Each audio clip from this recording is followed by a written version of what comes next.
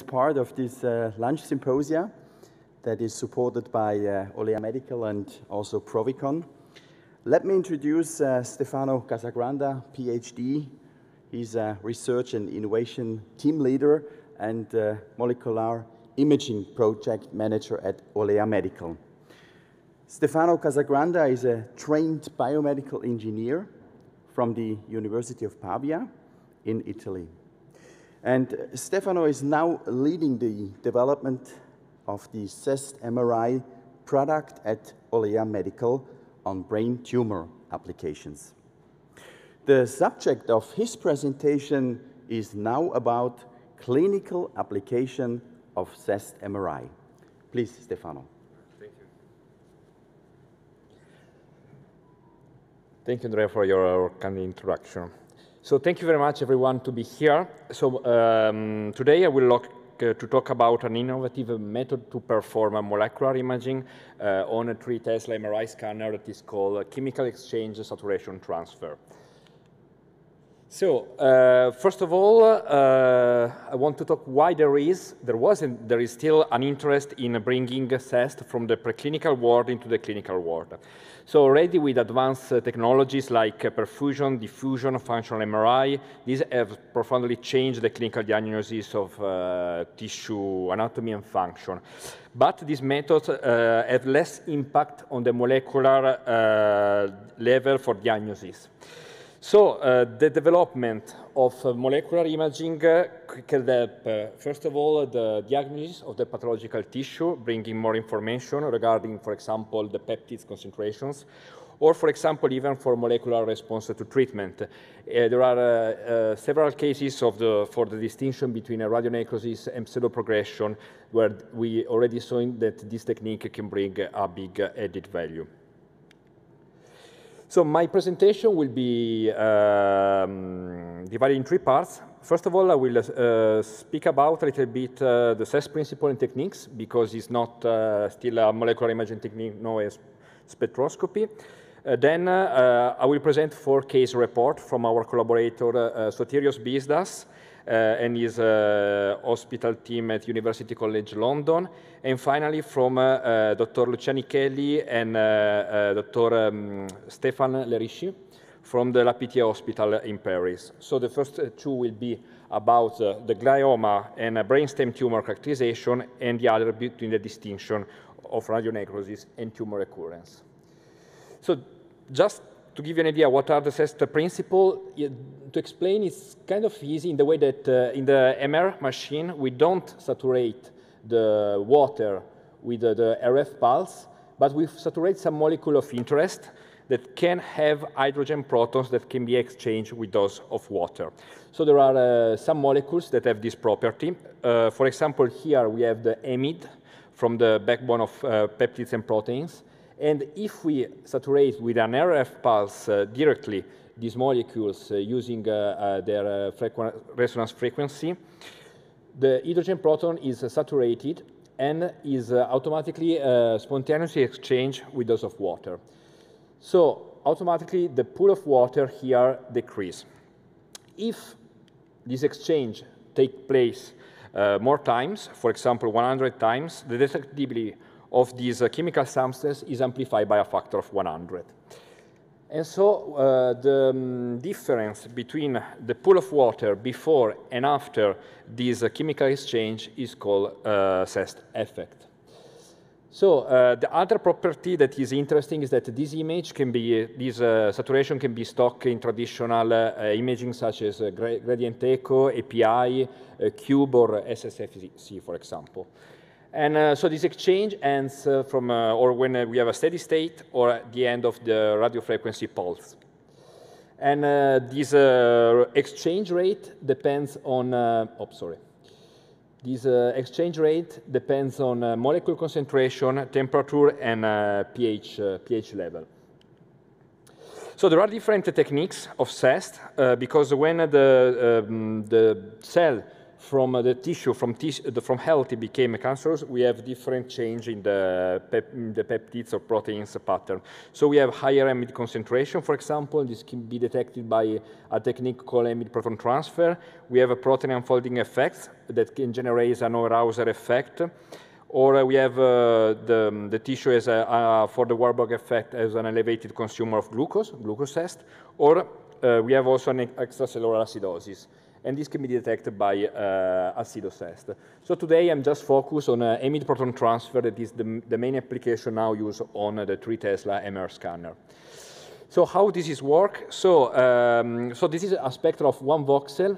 So multiple acquisition are required at different uh, offset. Uh, so the big pool that you see at 0 ppm is the, is, the, um, is the pool of water.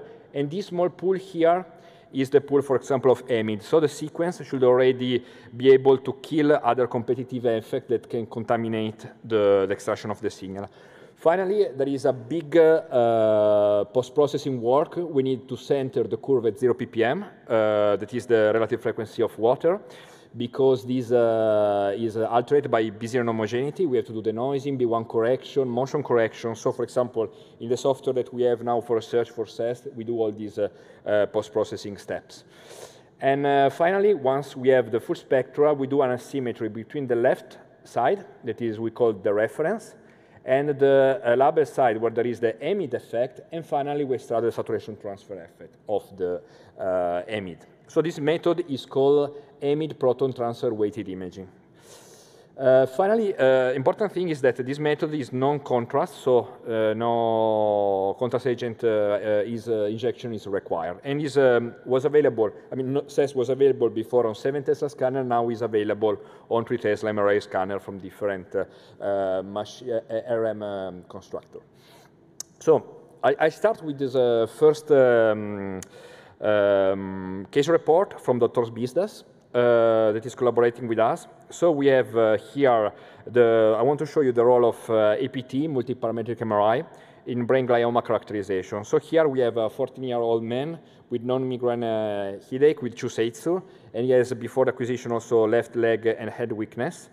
And so uh, is, uh, in the structural maps uh, is visible that there is a large space occupying mass in the frontal operculum, and by looking at the T2-FLAIR mismatch, we can see that there is also a big, uh, a vast central CSF field uh, compartment.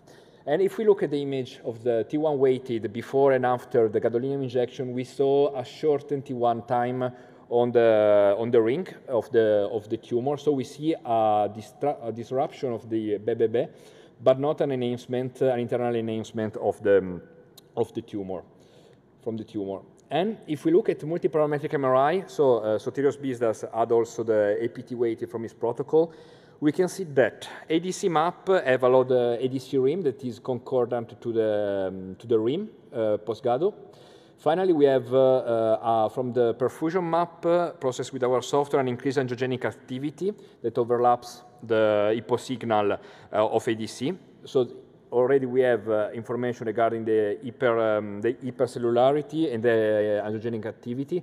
Finally, what we see with the APT weighting maps, we, here we have a sort of distribution of peptides and proteins in the tumor. So it's interesting because we see that the key, so we perform also phase suppression in the software, so we can see that the, the cyst signal is, um, is suppressed to avoid a false positive. And then we can see that the bottom part, the lower part of the tumor is uh, a hotspot of peptides and proteins. And uh, this uh, is, uh, and we have some interesting uh, insight. For example, when we have a higher vascularity in this patient, we see a lower concentration of peptides. So this um, the PT map also suggests that there is uh, an increased uh, activity, uh, metabolic activity, and an increased concentration of peptides and proteins, suggesting that it's a high-grade tumor, because usually the level of concentration of uh, protein is related to the increased APT-weighted signal. While if you see the white matter, the gray matter, we have really uh, low signal, uh, low signal. So the conclusion is that uh, finally, after uh, biopsy, this patient was confirmed to be uh, grade 4 IDH wild-type glioma. So this is an interesting case where we don't have a gadolinium enhancement of the contrast, if not just in the, in the rim, but we have a stronger concentration of peptides of APT suggesting grade 4. And um, so just to give you another example here uh, from uh, uh, Professor Bisdas and the clinical scientist of UCL, Laura Mancini, we have also a uh, here there are the, the, maps of grade 2 uh, IDH mutant 1p19q co-deleted. And we can see that the signal of amide, but even amine, because we, there is another biomarker that we can extract, is lower than uh, the AMID1 significantly. And also in a publication we did at ISMRM, we showed that, uh, that the, the, the, ratio between amine and, uh, and can be also um, a metric of, uh, related to pH, and uh, was able to give a statistical significant uh, uh, results in, a, in um, grouping the IDH mutation and with the ID, different patients with different IDH status. So this is a, uh, another example of APT-weighted imaging in a brainstem tumor. Uh, so this is coming from uh, La Pitié Hospital. is a patient of Lucia Nichelli and Stéphane Lehéricy. So we have uh, an 18-year-old uh, female with swallowing difficulty and a severe weight loss. And we can see that uh, uh, there is a, the FLAIR map show that there is a, a strong hyperintense lesion, but the RBV doesn't show any uh, hyper, clear hypervascularity. And also the only uh, gadolinium enhancement uh, that we can see is uh, in that uh, in this point that uh, I um, I can maybe okay underline also here. There is this uh, small spot. instead, the amide CEST, amide proton transfer, show a distinct pattern, pattern pattern here of high protein co concentration and uh, in fact, uh, after uh, biopsy, this was confirmed to be a grade 4 glioma. So uh, biopsy in this patient, uh, as you know, is, is really difficult, and if we can have additional informations that maybe sometimes perfusion cannot provide, amide, amide proton transfer can be really a, powerful map. And what is interesting is that also in the T1 post-GADO, we can see that there is a, um, a relationship between the enhancement and the, the and the amide proton transfer map. So we, we can see here that we have uh, a match between the, the gadolinium enhancement and the, the increased protein concentration in, uh, in the APT-weighted map. And um, now I, I, I, switch to the second part of the presentation uh, of uh, regarding the distinction of the between radionecrosis and uh, pseudoprogression. So this is a crucial dilemma because, uh, uh, as you know, it's very sometimes very difficult to distinguish uh, what is the lesion we are looking at during a different follow-up. So here we have a 62-year-old woman with breast cancer, and she has a two enhanced lesion that we can see here in uh, the red circle and a pink circle. And uh, so there is uh, the, the lesions are visible in both FLAIR and T1 uh, post-contrast. So uh, these two metastases were treated with uh, Gamma knife, um, Gamma knife stereotactic radiosurgery and then treated with radiotherapy. After, so the, the baseline is on the left, and uh, two months after radiotherapy, we see the response. We see that, one, uh, that both lesions are decreasing. But after 12 months, we can see that one of the two lesions, the one uh, uh in, uh, in, the red circle, uh, is increasing in size. And um, while the other one is still increasing. So the question is, the lesion is in the red circle. What is it? Is it a, progression or radionecrosis? So uh, they keep uh, in uh, Paris, they perform a multimodality imaging. So with multimodality, I mean that it's not only include a multiparametric MRI, but even PET to understand what's going on. So we see here that uh, um, the, uh, the perfusion imaging doesn't show uh, any hypervascularity for this lesion, neither SL, But uh, if we look at the amide proton transfer weighted images uh, in the amide and the amine range, we can see that there is um, a green spot. And uh, in the software, we perform a fly suppress uh, APT test just to be sure to suppress a liquid signal from a schist or a, hemosiderin in this case. And so uh, after, and also this patient has a PET acquisition, but no, there is no even while CEST is, um, is showing a convincing enhancement, the PET doesn't show any hypermetabolism, and neither the, um, the perfusion show any hypervascularity activity. So uh, what was interesting is that after other two months, so on the left we have the 12 months uh, fo uh, follow-up where uh, CEST amide proton transfer was the only image that uh, uh, suggests pseudoprogression. So after two months, the lesion in FLAIR increased, and the perfusion map, the SC perfusion map RBV, with the leakage correction, confirmed uh, that this was uh, um, tumor progression given by the higher vascularity of the profile of the curve that, uh, that we can see here. And what is interesting is that also uh, that as a curiosity in this case, we can see that amide proton transfer signal cartography at 12 months seems to be more in agreement uh, with the FLAIR hyperintensity at 14 months than in 12 months. Seems also to predict some sort of spatial uh, future development of the lesion. And uh, regarding the other stable lesion, we can see that uh, uh after 12 months after radiotherapy, uh, we can see that uh, on the right we have the radionecrosis and um, and CEST, APT weighted map, doesn't give any hyper signal uh, from this lesion. So confirming that this was uh, radionecrosis. Why on the left we have the, um, the hyper signal given by the uh, tumor progression. So, for, for example, for this case report, uh, it's interesting to see that uh, APT-West could be a useful uh, tool for the distinction between tumor progression and radionecrosis could be early the, than perfusion, so we need to see this uh, in a higher population, and of course the signal from hemosiderin need to be suppressed because there could be some exchange between uh, hemosiderin proteins and uh, to the CEST signal. So th these need to be also suppressed.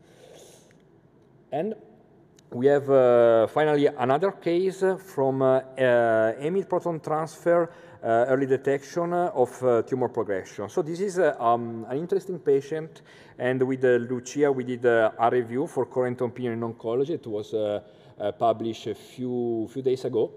And uh, we can see here that we have a 54-year-old woman with breast cancer, and we see that she has a single brain metastasis. So it was treated by sur surgical resection and then treated with uh, SRS to the cavity. And we can see that nine months after, there is a linear contrast, a tiny linear contrast that is seen in the shortened T1 weighted post-gadolinium imaging. And so they perform a multimodality, multi-parametric image in this case, and we can see that um, the, if, we, if you look, for example, at the ADC, it doesn't show any diffusion restriction. Uh, the dynamic susceptibility contrast perfusion, no neoangiogenesis, and um, we can see in the SOW some hemosiderin signal. But, for example, uh, so um, it is interesting that for, in, uh, for this patient, uh, amide proton transfer show an increased uh, signal in this area, suggesting that this patient has indeed tumor progression. And uh, after three months from the baseline, uh, we can see that this uh, signal that was visible in the amide proton transfer CEST map is also visible in the T1 post-gadolinium image. But also, um, but also after biopsy, uh, it was confirmed, in fact, that it was a, tumor, so was, um, was progression. So the conclusion of this uh, case report uh, is that uh, Uh, we think that adding uh, APT-weighted imaging, CEST imaging to multi-parametric MRI protocol can change uh, patient management as they offer complementary information for lesion characterization, so for example, high or low grade, or even to have more insight about IDH status between before the um, before the biopsy, and uh, or either to use uh, uh, proton transfer to detect where there is the higher um, hotspot uh, signal from uh, proteins, maybe to get uh, the most interesting area to perform surgery, most informative area to perform surgery, a biopsy, and, and finally for post-treatment assessment, because if um, if CEST is, is, seems to be able to predict uh, tumor progression a few months before uh, perfusion, this is really something, uh, something interesting. So uh, right now in our sphere, uh, in our new software, we uh, the last version we have this uh, CEST plugin for research use, and so our collaborators are using this software to do the post-processing of the amide proton transfer weighted images. And so I want to thank you, all of you, for your attention. So these are my contacts. So if you are interested also to, to do some uh, CEST imaging, uh, we will be very happy to help, uh, even in uh, collaboration uh, uh, with, with collaborations. And so I want to thank you also all the collaboration here that will help us to develop this this technology at at 3 Tesla. And yeah, thank you very much for for your attention.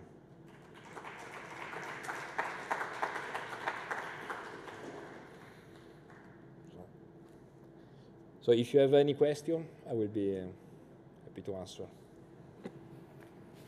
May I ask you a question? Uh, hello. Think, yeah. Hello.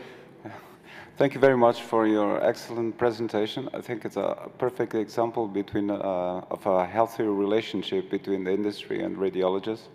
Thank you. Um, do you have any uh, figures as to specificity or sensitivity uh, for distinguishing between tu uh, true tumor progression and radiation necrosis? Yeah. Uh, so, um, so do you mean if we have uh, if we have performed a, a multi, um, longitudinal studies, or?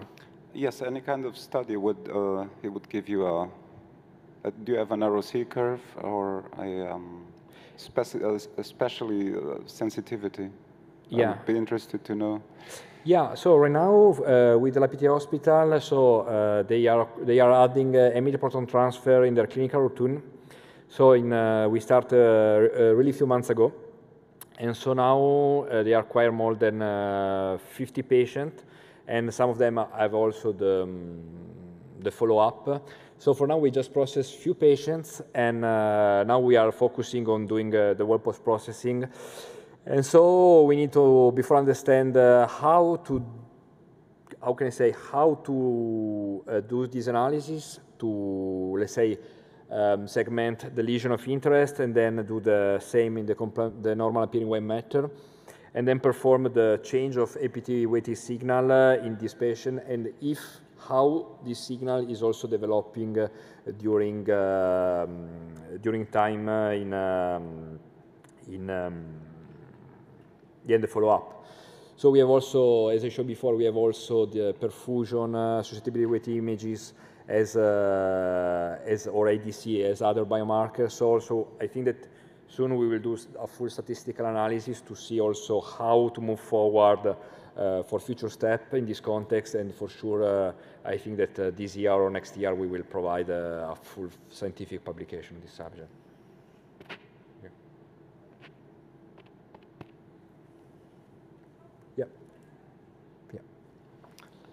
Uh, hi, my name is Pia Sangren. Thank you, Stefano. It was a very nice presentation, and Thank I've you, seen some of your work before. I just have a question regarding the APT-weighted uh, sequence. Yeah. Because we know that there are different APT-weighted sequences out there. Yeah. Uh, uh, both by vendors yes. as well as between in the same vendor there might be different work packages of APT weighted uh, sequences. Are all those possible to post-process uh, through this, or is it a specific APT sequence that needs to be used?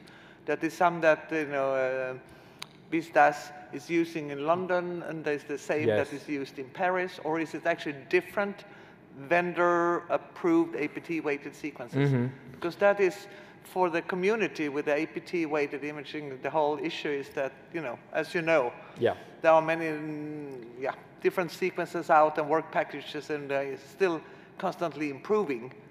And um, that's my question, if they are applicable. Of course. Thank you, Pio, for your, for your question. And uh, yes, is, uh, so uh, before, because we work before in the GLINT project, uh, Medical was one of the partner, uh, we start to use uh, and we recommend uh, the WIP 1816B of Siemens, that is that for, the, for doing 3D APT. And so before, in our first version, we work specifically with the Siemens 3 Tesla MR scanner and this WIP because also they have uh, they have a sequence called Wasabi that do B0 and B1 mapping, uh, and so we have a method to process this map and do nice pre and post processing. Uh, but in the software, uh, yeah, we are moving now to process also the GE images from General Electric from their RIP, 2D and 3D.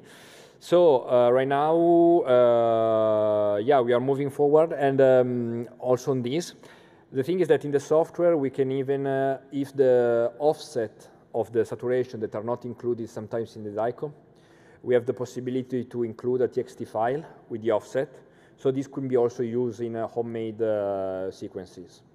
So we can perform the B0 correction using the minimum of the Z-spectra and center at 0 ppm using smoothing splines, or if not, we use the Wasabi uh, method uh, that we have implemented a technology to do it in uh, three, four seconds to do B0 and B1 mapping that we recommend if uh, you use the 3 Tesla MR, MR um, from, um, from Siemens. And uh, then we will see if we will implement other B0 mapping methods. But for, for the moment, uh, let's see that uh, we can process Siemens images, GE images, uh, but we cannot uh, process the APT from Philips because they have their own uh, technology to, to perform APT. Thank you. Thank you very much. Yeah. And so, sorry, to answer your question also, yes, all the collaboration here are using uh, Siemens 3 Tesla MR scanner.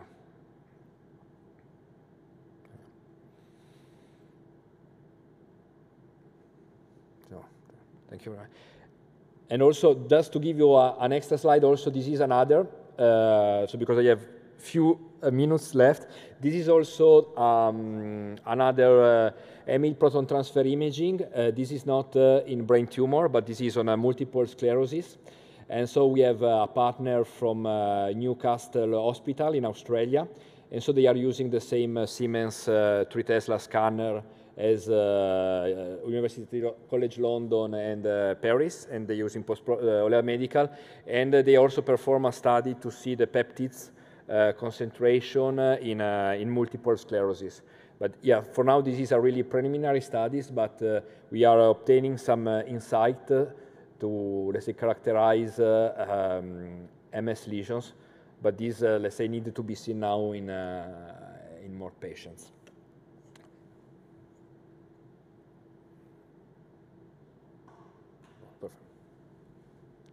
Thank you very much.